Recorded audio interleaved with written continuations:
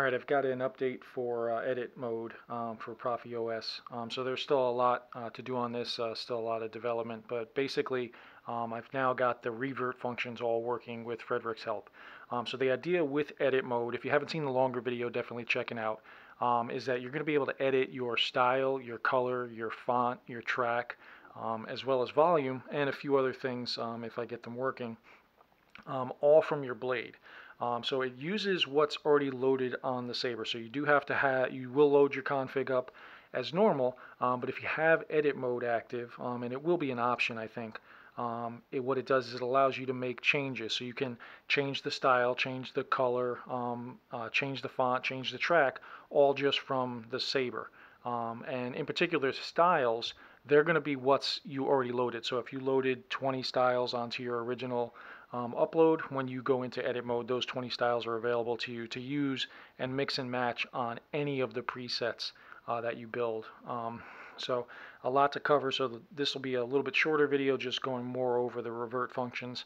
Um, but so to go into edit mode, it'll be a long hold on both aux and power. And it gets drowned out, but it says edit mode, and your blade ignites. But now you're in edit mode. Let me change this angle here. So now as I turn, so the controls in edit mode is turning will advance through the options. So that was edit color. Uh, so edit styles first. Edit color. Edit font. Edit track. Edit the volume. Copy presets. You can make as many copies as you want. You can also delete if you want um, and then it goes back. Uh, you can exit, and you can edit the style. Now with editing style, so um, so e there's a bunch of submenus, but in any menu, turning changes the option. Power accepts, um, confirms, or saves. So we're gonna so we're in style, so we'll press the power button. So that goes in. So now each turn will actually advance through all of these styles that are already on this saber. So I can keep changing. It'll be easier if it's lower so you can see the reflection. But I'm going to have all of my available styles that I can go through. And what I wanted to do is now, in this menu, if you wanted to save a style, so if you get to a style you like, you would press power. That'll save it. If you happen to want to go back to the original, before you save, you can hit the aux button now, and that will revert to your original style. So so now, because there's two blades on here, it reverted that first one, and now it's going to look for the second one. So the second one's the accent, and it'll let me, uh, I can choose to change that, or I can press, uh, so I can change it here, and it's hard to see because it's kind of small on camera, but it changes those styles. And again, if I don't, if I like what I see, I press power to save it. If I want to go back to what was originally saved, I press and that reverts it. So within each menu, um, you can revert now, oops, uh, you can revert um, to what was previously saved. And what that means is if I went in and changed something and hit save, and then I go in and try to change it again, it's going to go back one version. Um, and that's for the style, that's going to be for the color, uh, that's going to be for the font and the track. So I can show you the, uh, the color. So let's get, let's get to color. So we'll do edit color. And this uses color change mode, so this is the color wheel. So I can get to something I like.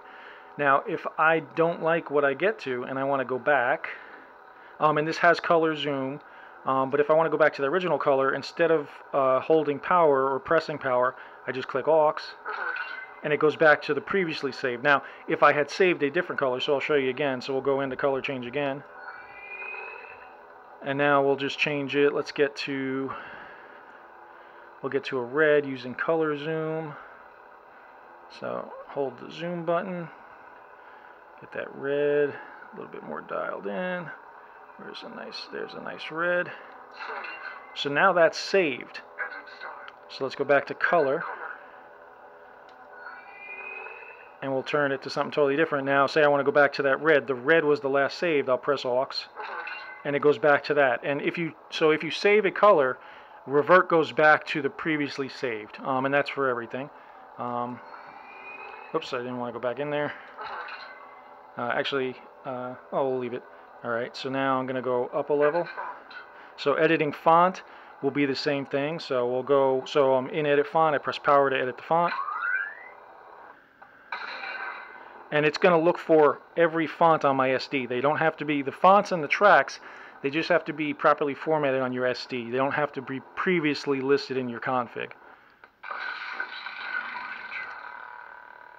So if I go through all these, but uh, and I like the font that I have, I would press power to save it.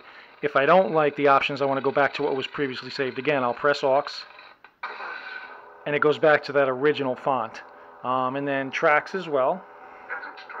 So we'll go into edit track, press power to go in, and it's going to play the currently saved track. And if I turn, it'll change the track.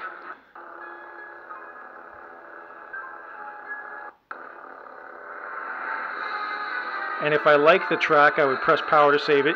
But if I want to just go back to the previously saved track again, I'll press aux. And it's it goes back now. The track we don't play again. Um, I can actually change that, but it, right now it just stops the track. Um, but now that's save. Edit volume is straightforward. So you edit your volume. Um, copy preset, delete preset. I show those in the other video. Um, so I'm going to exit. So now I'm out of that uh, editing mode.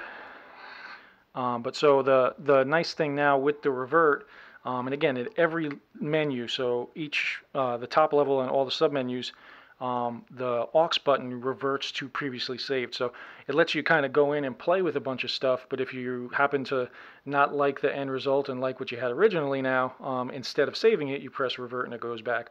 Um, but it only reverts to the previously saved version. Um, so if you make changes and save them, then you can't go back um, two versions essentially. Um, so, but uh, another new piece of the edit menu is now working properly um, as well as I tweaked a few of the uh, the sounds and stuff like that um, but still a lot to do. Um, there's still a few pieces I'm hoping to chase down um, but it's uh, it's all working great. And of course big thanks to Fredrik. I couldn't have gotten here uh, without his help and all the stuff he's uh, contributed uh, to make this possible. But uh, really excited about it um, but now all of the revert functions are operating properly so just wanted to share. So a lot more to come. Um, as, a, as the updates are available, I'll do more videos. Thanks. Have a good one.